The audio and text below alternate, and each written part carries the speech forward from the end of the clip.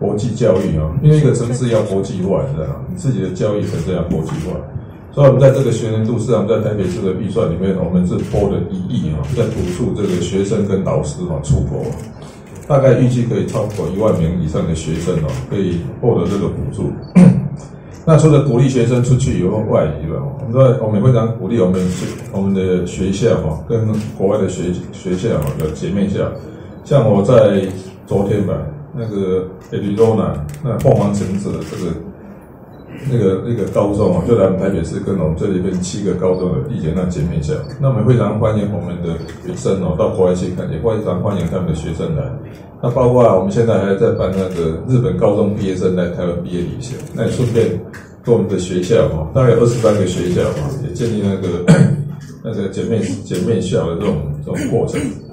我倒觉得这样啊，如果我们口号你知道吗？台湾走出去，世界走进来，让世界看见台湾。那除了这些 交流以外，哈，我们看到现在国国际教育，像今天这个我们的中正高中哦，就是跟美国缔结那个姐妹校，那当当然是也要花点时间去美国看一看啊。那毕业的时候就可以拿两张文凭，高中文凭，台湾的一张，美国的一张啊，就是叫双联学制。那另外没有三个高中开始跟英国北方的这种大学，就是说你在这它这课程是。那这个文凭是被被英国那个北方的那那几所大学联盟哦认可的哦。那另外一个是在办这个叫 IB，IB 就是美国美国学校的这种，在 因为一般我们在台湾有时候读这种高中，你知道吗？没有办法直接接轨美国的大学。所以我们现在在这种叫进入 IB 课程来说，你在台湾读的课程哦，将来要去申请美国学校，它是被认可的哦。那这个叫 IB IB 课程。那刚才那个 IY 是英国北方的大学，所以我们也透过这一种合作，你知道吗？那台北市哦，要成为一个国际城市哦，我们就让我们的教育先国际化啊，这是我们在做的努力。那也非常谢谢我们教育局哦，在这。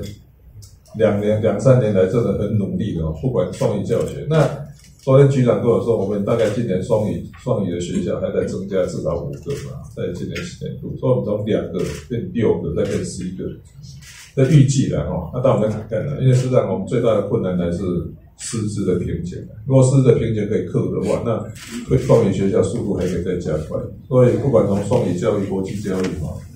这是在我们整个台北要成为一个国际城市的努力之一。好，谢谢大家。